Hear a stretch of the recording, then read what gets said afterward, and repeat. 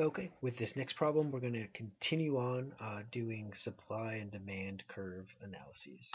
Um, so this question is taken from Krugman Wells, uh, Chapter 3, Question 11. In Rolling Stones magazine, several fans of rock stars, including Pearl Jam, are bemoaning the high price of concert tickets. One superstar argued "It just isn't worth $75 to see me play. Uh, no one should have to pay that much to go to a concert. Uh, assume the star sold out arenas around the country at an average ticket price of $75. So, question A How would you evaluate the arguments that ticket prices are too high? Um, so, first off, let's just kind of assume that there wasn't some uh, unmet demand. So, let's just say that the $75 ticket price was the competitive equilibrium price. That is to say, the price in which uh, the supply curve met the demand curve. So at $75, the quantity demanded equals quantity supplied. Uh, there's no additional people wanting to purchase tickets, and there's no people additional people will, wanting to sell tickets um, at you know at, at the price of 75. So if if that assumption is true, then the $75 price is, you know, it's the equilibrium price. No one could be better off at a different price. So in that sense, uh, to say that ticket prices is too high is kind of an odd statement.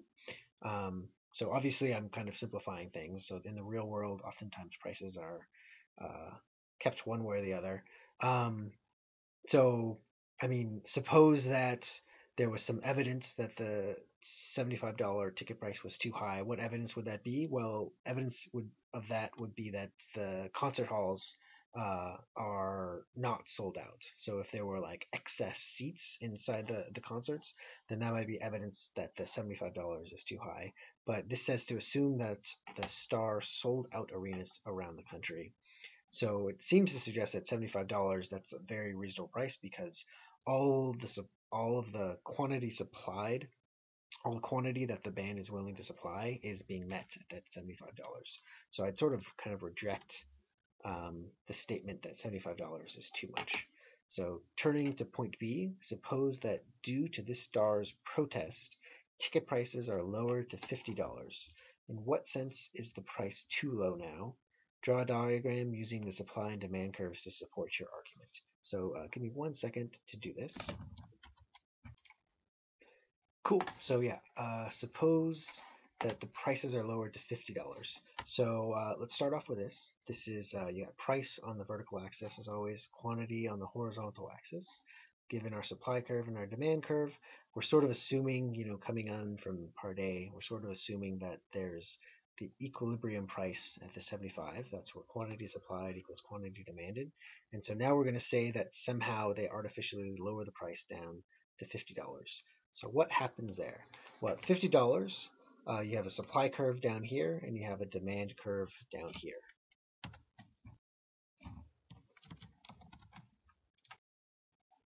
Okay, so filling in a little bit of this, you could see at a price of $50, you have a, a, a smaller quantity supplied, so this quantity right here.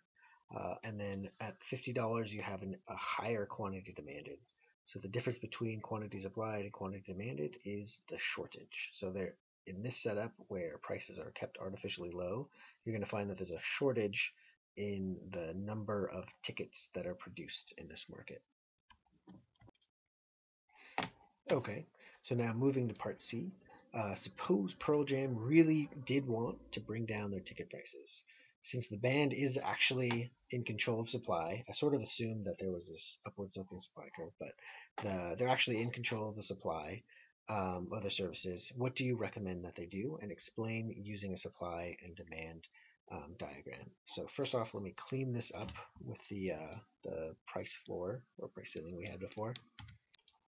Okay, so if Pearl Jam did want to decrease the average price, one option that they have is that they could increase the number of uh, shows that they do um, this year or you know during this period of time. So that would reflect an outward shift in the supply curve. So you have the old supply curve here and you have the new supply curve over here. Um, and given their expansion in supply, you'd have this new equilibrium price down here. Um, so the next best option would, or the best option actually, is probably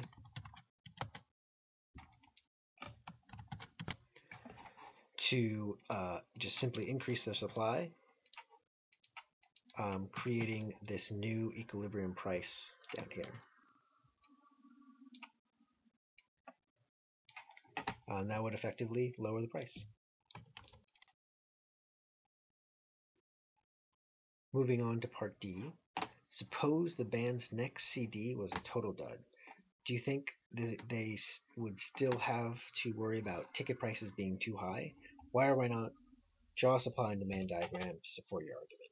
So uh, I think the logic that they're hinting at here is uh, if their next album's a dud, um, that would mean when they go back on to uh, you know the tour circuit, there's going to be fewer people demanding to see them live because you know if their album's a big hit, you usually get this you know big increase in demand to see the live performance. But if the, CD was a dud, then um, fewer people would be demanding at any given price. So that reflects an inward shift in the demand curve. Thus, so with the demand curve shifting from D1 to our new demand curve here, we have a new equilibrium point at this location, and the new equilibrium point is associated with a lower price and a lower quantity demanded and quantity supplied in this market.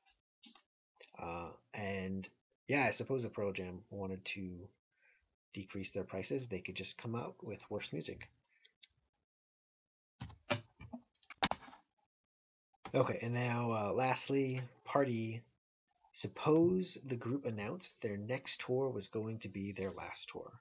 What effect would this likely have on the demand for the for and uh, demand for and prices of tickets?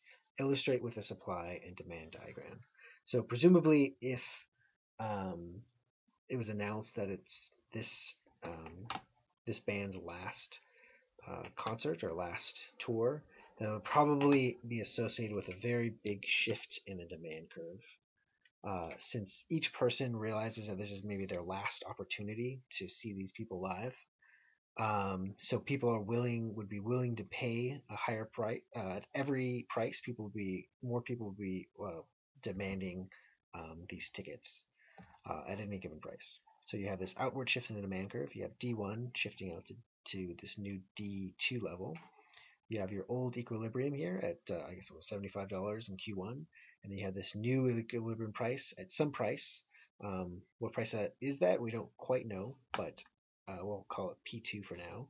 Um, and then what happens to the quantity? Um, since it's an outward shift, um, we have this outward, in, we have this increase in the quantity of um, these tickets. So at uh, where the new demand curve meets the new supply curve, we have an increase in price and an increase in um, quantity. Uh, and that's it. Thanks, and hopefully that was helpful.